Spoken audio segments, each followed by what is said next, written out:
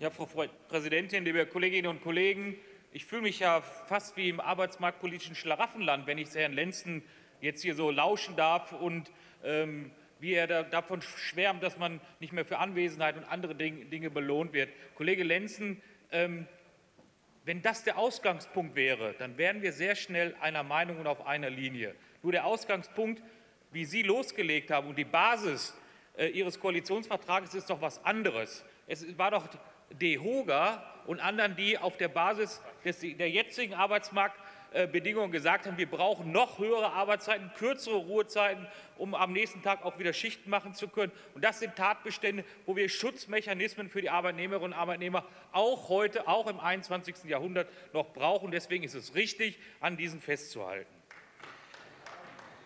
Der zweite Punkt, was Familienzeiten, und es geht auch um die Frage, wie die wie die, wie die Spielregeln sind, wer welche Möglichkeiten hat und welche Stärke auch im Einzelnen betrifft. Ich bin sehr dafür, wie im Übrigen jetzt auch die Große Koalition offenbar äh, das auf Bundesebene versucht einzustehlen. Ich bin sehr dafür, dass es Flexibilitäten auf beiden Seiten gibt.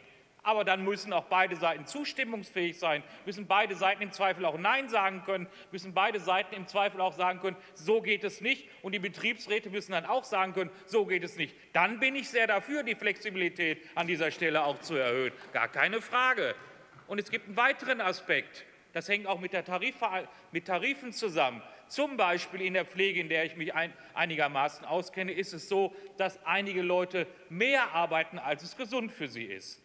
Manchmal, weil sie es müssen, weil der Betrieb es nicht anders hergibt und manchmal auch, weil sie unvorsichtig sind und meinen, weil sie sehr jung sind, noch mal die Schicht am Wochenende drauflegen zu können. Und wenn es dann zu Krankheitsfällen kommt, zu vermehrten, und das ist ja nicht zu bestreiten, dann ist es auch eine Frage an die Solidargemeinschaft, nämlich an die Krankenversicherten, wer die Kosten davon trägt. Und deswegen ist es richtig, dass der Staat hier auch Regeln macht. Und er muss natürlich gucken, an welcher Stelle und wie weit er da geht. Liebe Kollegen von der SPD, in weiten Teilen, was die Arbeitszeiten anbetrifft, sind wir in vielen Punkten einig.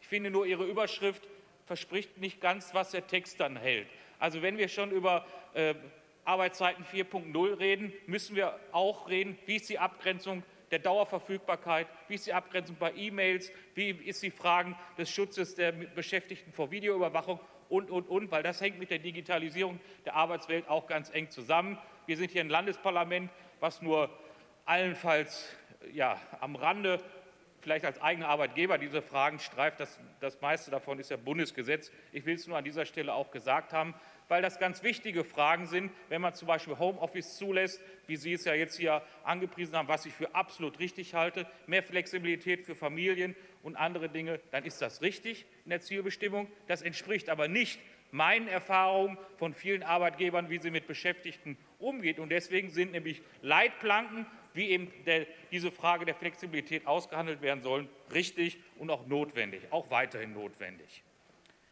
Liebe Kolleginnen und Kollegen, auf Bundesebene, und deswegen sind ja auch die Positionen hier im Landtag ganz interessant, hat das ja sowohl bei der Frage Jamaika-Koalition als auch bei der Frage der Großen Koalition in den Auseinandersetzungen eine Rolle gespielt.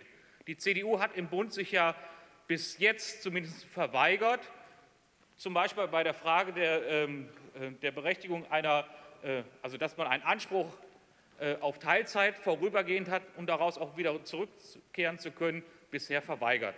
Nach dem, was wir in diesem 28-Seiten-Papier gelesen haben, erstmalig ist die CDU offensichtlich bereit, davon abzugehen und zumindest äh, zeitweise dies zuzulassen. Das zeigt doch, um was es geht. Am Ende des Tages geht es um Machtfragen.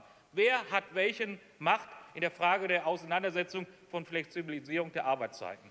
Dass es richtig ist, mehr Flexibilität einzuräumen, da sind wir uns einig. Aber unter welchen Bedingungen es abläuft, wer welche Rechte im Zweifel hat, das müssen wir sehr genau austarieren. Und dann werden auch flexible Arbeitszeitmodelle nicht nur möglich bleiben, sondern auch weitere austariert werden. Und deswegen kann ich Sie nur aufrufen, denken Sie nicht immer nur an den kleinen Arbeitnehmer der, äh, an, an, die kleine Situation vor Ort, wo Ihnen einer erklärt, na, es kann doch nicht sein, dass ich, äh, um, äh, dass ich abends um 10 nicht noch die Sachen erledigen kann, die ich um 8 nicht erledigt habe, weil ich Familienvater bin. Das ist doch nicht der Regelungstatbestand, sondern es geht dann um denjenigen, der, äh, der zum achten Mal hintereinander eine 10-Stunden-Schicht gefahren hat und dann eben auch gesundheitlich geschützt werden muss. Und das haben wir eben auch. Wir sind nicht alle nur digital unterwegs, sondern wir haben eine Arbeitswelt, wo auch die Arbeitnehmer geschützt werden müssen. Deswegen halten wir wesentliche Teile des SPD-Antrages für vernünftig und wir stimmen selbstverständlich der Überweisung in den Ausschuss zu. Herzlichen Dank.